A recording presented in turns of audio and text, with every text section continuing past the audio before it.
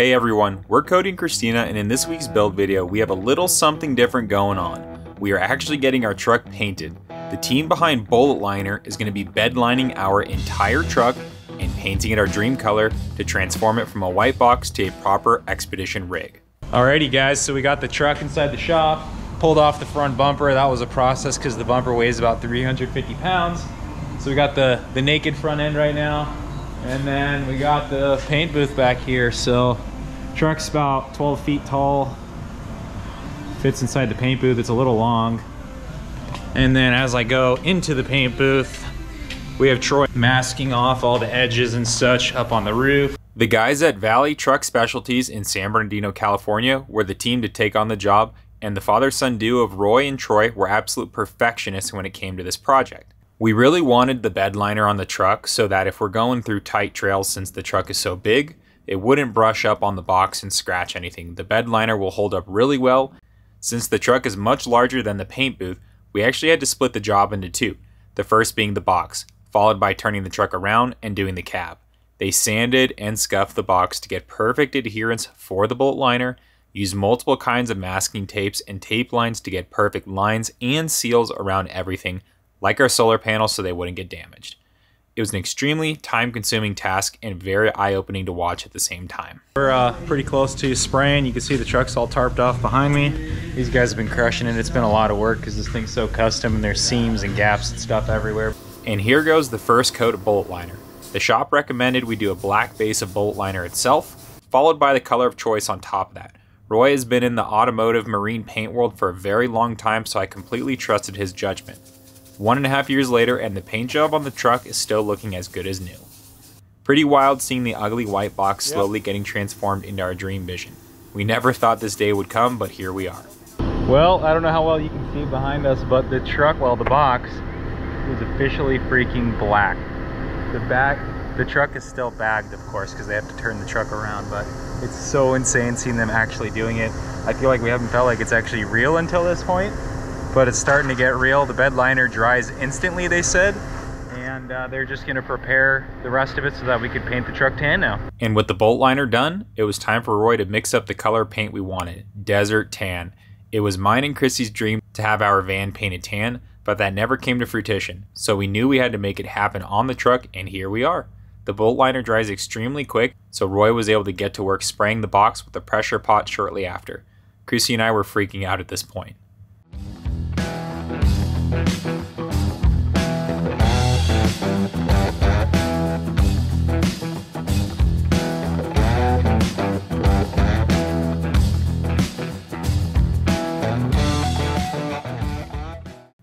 Now that the main part of the box is done, they ripped off the masking covering our back door, masked off the main portion of the box which was just painted, and got ready to paint the rear door. We did it this way so that when the rear door is down, the metal beams are painted tan. So we had to have the door down while we painted the main portion of the box. Now it's time to mask off everything that was just painted on the box and get ready to spray the back door.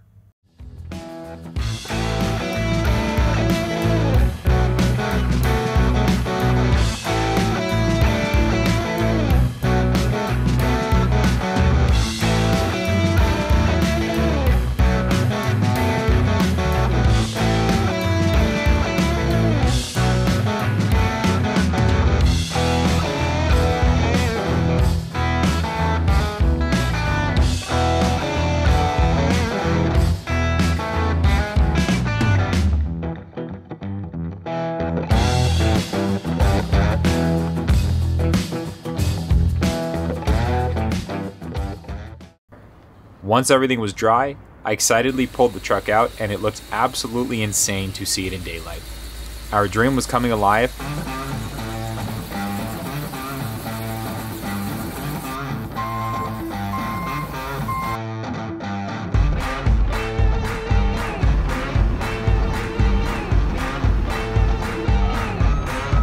Yeah.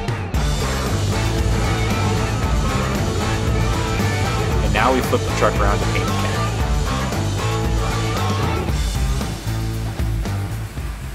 Troy got to work removing the grill, masking off the headlights, and the extremely tedious task of prepping door handles, getting the doors ready, the fenders, everything, and making sure it was perfectly sealed off so no liner or paint would get inside the truck. They also had to wrap the entire box in plastic since that is now painted and needs to be protected from the Bullet Liner which will be sprayed onto the cab.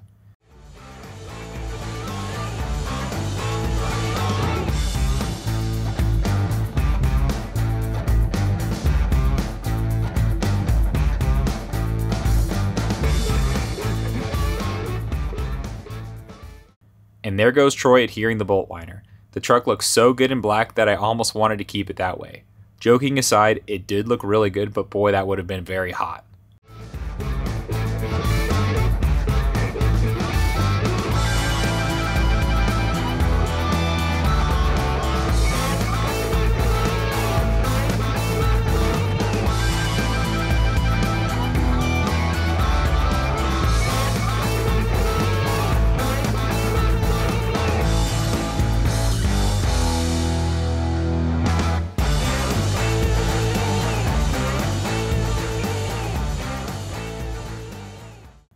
And to finish it all off, Roy got to work spraying the rest of the truck in tan.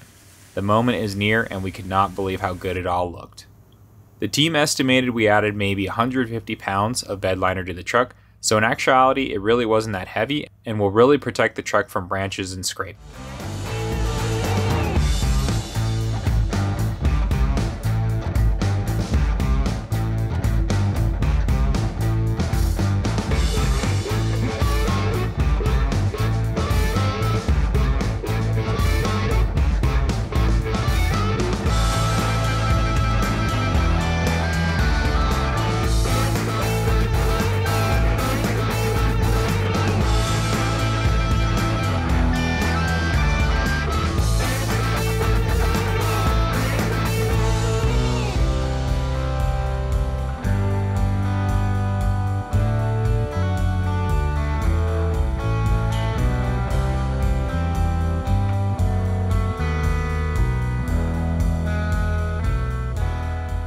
It was a very late night for everyone to get the truck done before the weekend. Our entry door and cargo doors were sprayed tan, our chassis boxes were bullet lined black, and everything, including the grill, front bumper, and steps, had to be reinstalled to the truck. Stay tuned to the end of the video where we will show you how the entire exterior of the truck came together, but here's a little sneak peek for now. And next up, we will be jumping back over to the build site where we will be getting back to DIY projects. Well, a very exciting package just showed up. Uh, we're stoked to be finally installing our entry stairs into the truck. So we're gonna have a set that's below the main entry door. Thank you to TorkLift International for sending us these stairs. They're the glow step stairs. I'm really excited to be able to have some glow at night. Since it's about a four foot drop down to the floor, it'll be really nice to be able to see the stairs at night. So let's open up the box, even though it's somewhat already open. We haven't seen anything yet, so let's dig in.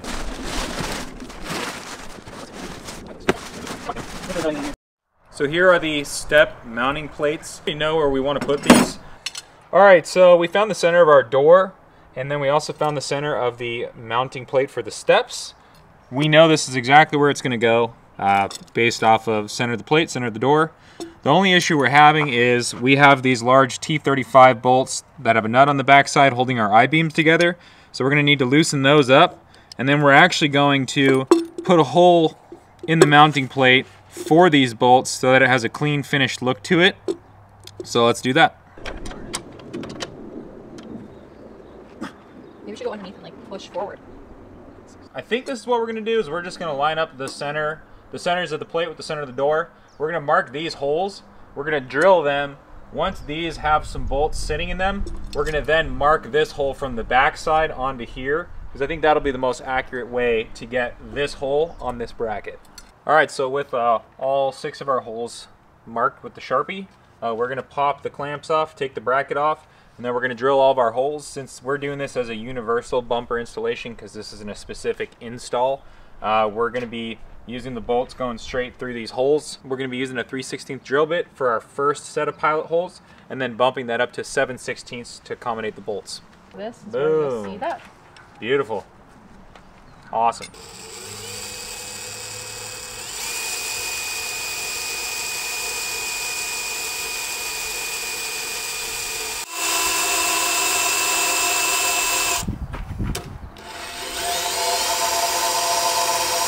But uh, anyway, we got the first set of uh, pilot holes drilled. Now I'm going to be stepping up to the 7 16ths, which will be the final size to accommodate the bolts we'll be using to install the step plate. We drilled our hole for the T35 that helps secure the box to the I-beams underneath. Uh, we're going to put the step plate up. Um, we're going to be using the hex bolts that are provided with washer, lock washer, and then nut on the back side. And the only other thing you're going to need is these reinforcement plates. They go on the two perimeter bolts on both sides, like so. And let's get to it. Chrissy was on screwdriver duty while I went under the truck and fastened the nuts underneath it. It really worked out well tying the step bracket into the side of the box like this.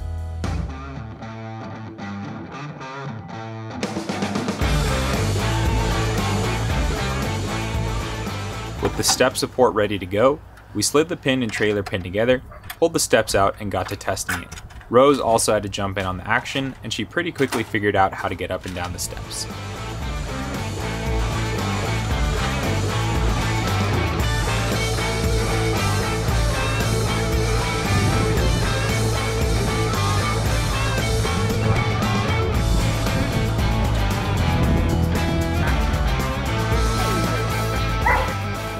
What is up everybody? New week here on the build. Super exciting because we are partnering with Frontrunner Outfitters to do a bunch of super sick exterior upgrades on the truck.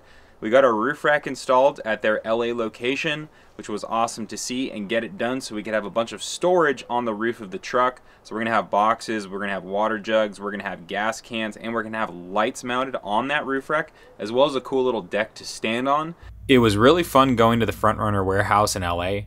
The team over there was extremely professional and they are very cool guys. They quickly got to work prepping the roof rails to receive the roof rack. It was a fairly quick process and we could not wait to set up the rack and get all of our Frontrunner Outfitters storage solutions dialed on the rack.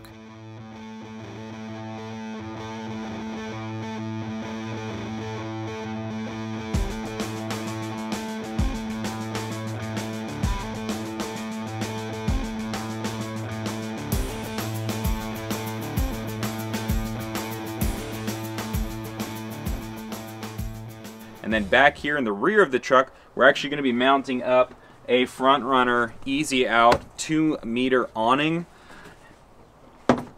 And that will provide shade for the rear deck right here, as well as shade for when our rear door is open and we're hanging out inside. And through bolt it straight through the back of the truck here. This is all super strong stuff and it's going to be a perfect mounting location for that awning.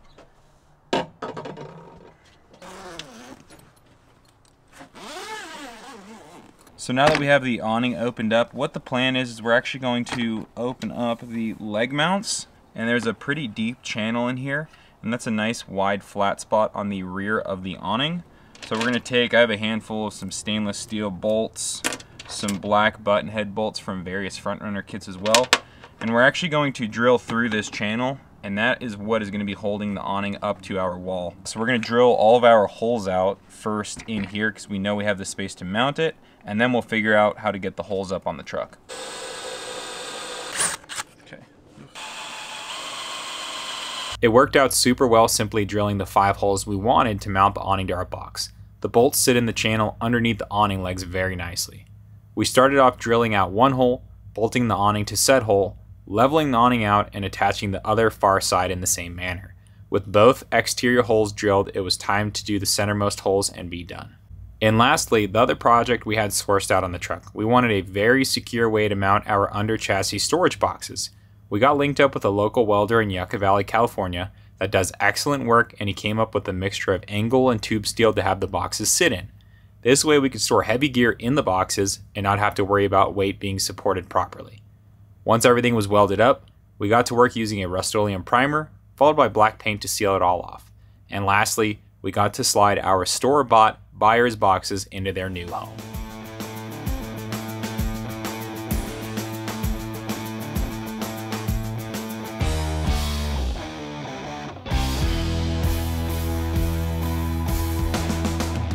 See you guys next week.